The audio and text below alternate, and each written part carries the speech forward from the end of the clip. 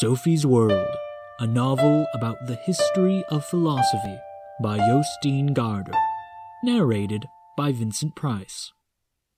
Chapter 3 The Myths A precarious balance between the forces of good and evil. There was no letter for Sophie the next morning. All through the interminable day at school, she was bored stiff. She took care to be extra nice to Joanna during the breaks. On the way home, they talked about going camping as soon as the woods were dry enough. After what seemed an eternity, she was once again at the mailbox.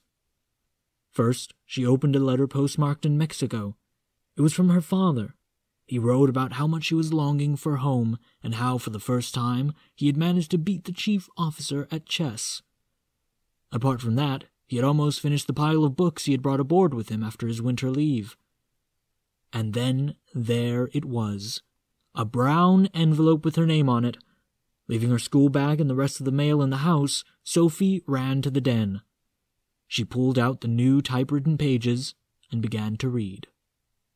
The Mythological World Picture. Hello there, Sophie. We have a lot to do, so we'll get started without delay. By philosophy, we mean the completely new way of thinking that evolved in Greece about 600 years before the birth of Christ. Until that time, people had found answers to all their questions in various religions. These religious explanations were handed down from generation to generation in the form of myths. A myth is a story about the gods which sets out to explain why life is as it is. Over the millennia, a wild profusion of mythological explanations of philosophical questions spread across the world. The Greek philosophers attempted to prove that these explanations were not to be trusted. In order to understand how the early philosophers thought, we have to understand what it was like to have a mythological picture of the world. We can take some Nordic myths as examples. There is no need to carry coals to Newcastle. You've probably heard of Thor and his hammer.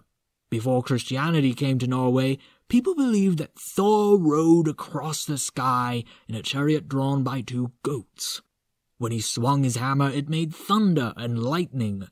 The word thunder, in Norwegian, Thordjon, means Thor's roar. In Swedish, the word for thunder is Eiska, originally Eisaka, which means God's journey over the heavens.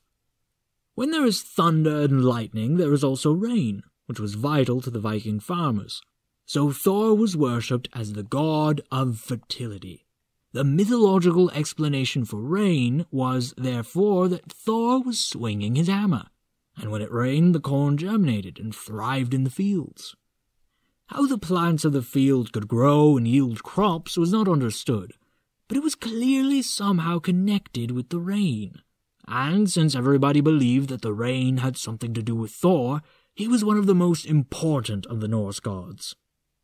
There was another reason why Thor was important, a reason related to the entire world order.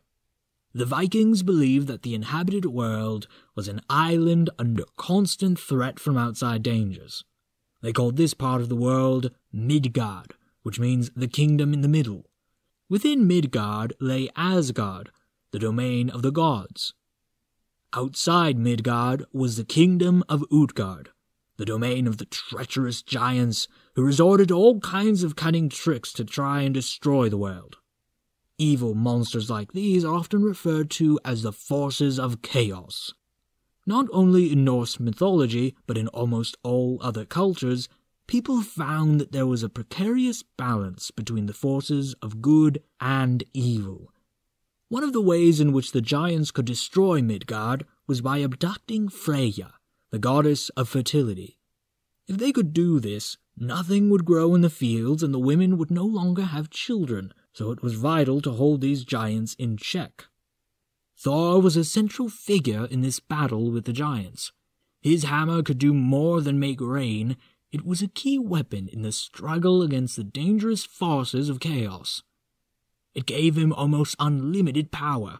For example, he could hurl it at the giants and slay them, and he never had to worry about losing it because it always came back to him, just like a boomerang.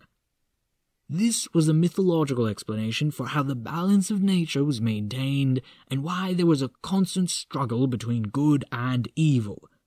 And this was precisely the kind of explanation that the philosophers rejected. But it was not a question of explanations alone.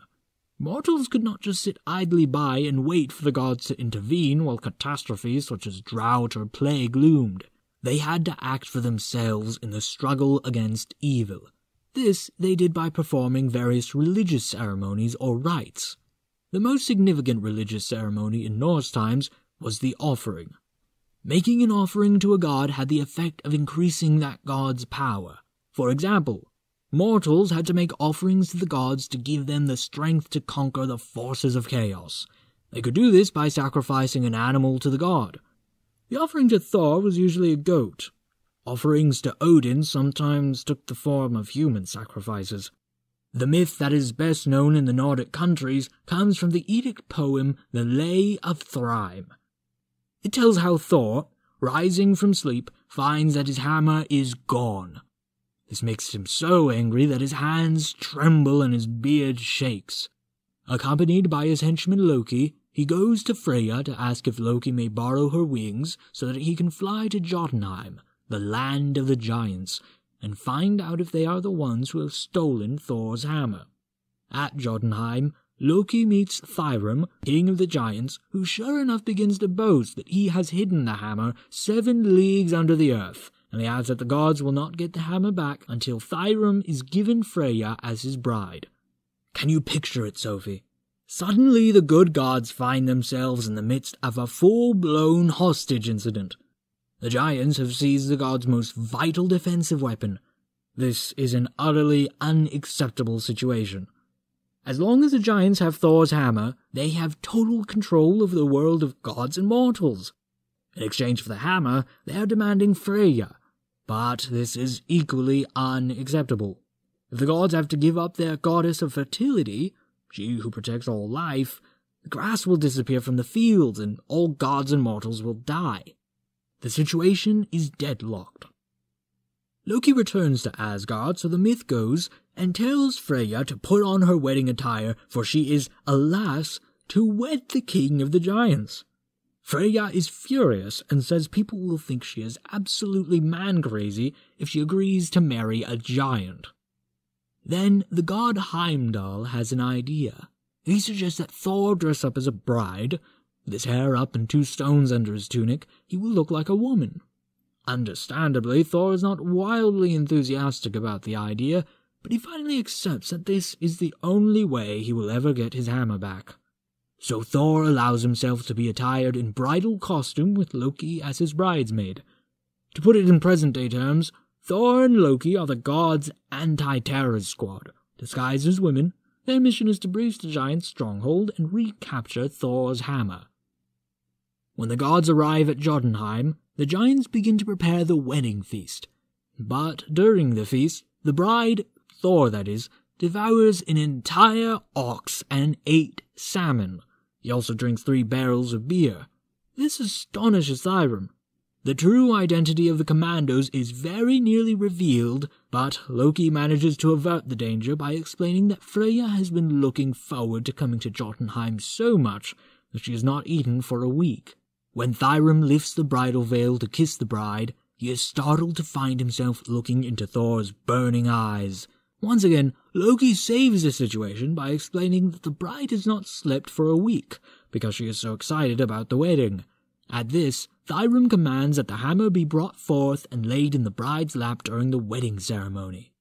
Thor roars with laughter when he is given the hammer. First he kills Thrym with it, and then he wipes out the giants and all their kin, and thus the gruesome hostage affair has a happy ending. Thor, the Batman or James Bond of the gods, has once again conquered the forces of evil. So much for the myth itself, Sophie, but what is the real meaning behind it? It wasn't made up just for entertainment. The myth also tries to explain something. Here is one possible interpretation. When a drought occurred, people sought an explanation of why there was no rain. Could it be that the giants had stolen Thor's hammer? Perhaps the myth was an attempt to explain the changing seasons of the year. In the winter, nature dies because Thor's hammer is in Jotunheim, but in the spring he succeeds in winning it back. So the myth tried to give people an explanation for something they could not understand.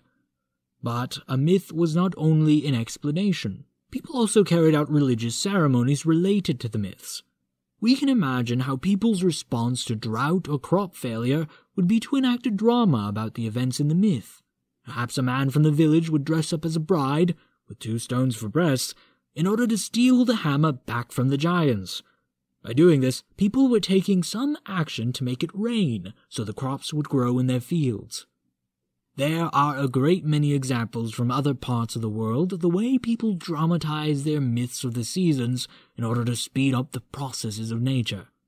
So far, we have only taken a brief glimpse at the world of Norse mythology, but there were countless myths about Thor and Odin, Freya and Frey, Hoder and Balder, and many other gods. Mythological notions of this kind flourished all over the world until philosophers began to tamper with them. A mythological world picture also existed in Greece when the first philosophy was evolving. The stories of the Greek gods had been handed down from generation to generation for centuries. In Greece, the gods were called Zeus and Apollo, Hera and Athene, Dionysus and Asclepius, Hercules and Hephaestus, to mention only a few of them. Around 700 BC, much of the Greek mythology was written down by Homer and Hesiod, this created a whole new situation. Now that the myths existed in written form, it was possible to discuss them. The earliest Greek philosophers criticized Homer's mythology because the gods resembled mortals too much, and were just as egotistic and treacherous. For the first time, it was said that the myths were nothing but human notions.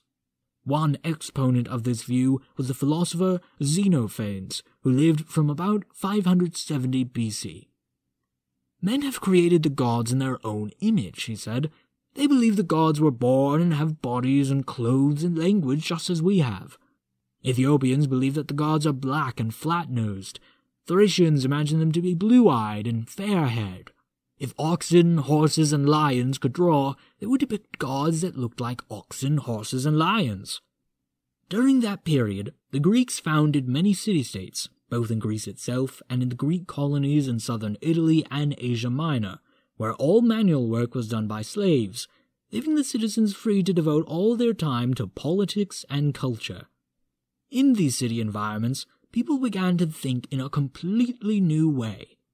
Purely on his own behalf, any citizen could question the way society ought to be organized. Individuals could thus also ask philosophical questions without recourse to ancient myths.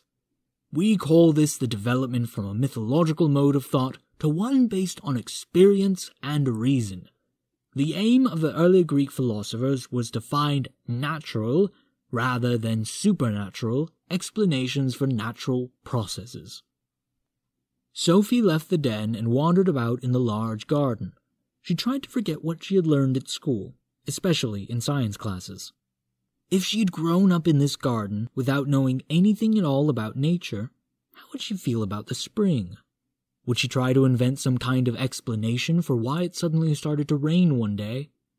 Would she work out some fantasy to explain where the snow went and why the sun rose in the morning? Yes, she definitely would. She began to make up a story. Winter held the land in its icy grip because the evil Muriat had imprisoned the beautiful Princess Acacia in a cold prison. But one morning, the brave Prince Bravado came and rescued her. Sakecia was so happy that she began to dance over the meadows, singing a song she had composed inside the dank prison. The earth and the trees were so moved that all the snow turned into tears, but then the sun came out and dried all the tears away. The birds imitated Sakecia's song, and when the beautiful princess let down her golden tresses, a few locks of her hair fell onto the earth and turned into the lilies of the field. Sophie liked her beautiful story. If she had not known any other explanation for the changing seasons, she felt sure she would have come to believe her own story in the end. She understood that people had always felt a need to explain the processes of nature. Perhaps they could not live without such explanations, and that they made up all those myths in the time before there was anything called science. Thank you for listening to Chapter 3 of Sophie's World The Myths. If you enjoyed it, please consider subscribing so you can hear more from this story, as well as other things I'll be working on in the future. Thank you.